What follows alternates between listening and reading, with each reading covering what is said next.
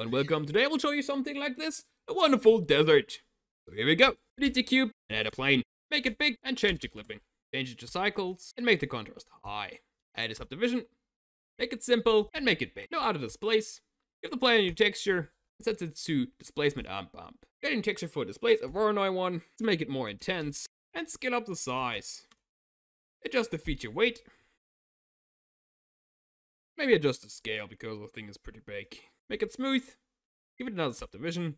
And let's add a sky texture. More air, dust, and a bunch of ozone. Scale out the strength a bit. Oh, Glory looks pretty decent. Let's give the plane a wonderful color. And add a noise. And a bump. Vector into height. And distort it a bit. Give it more detail. Hold on the strength a bit.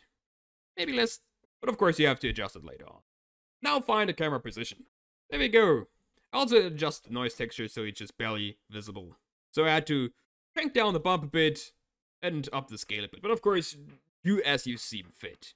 Now the most important part, import a bunch of planes and scale them up.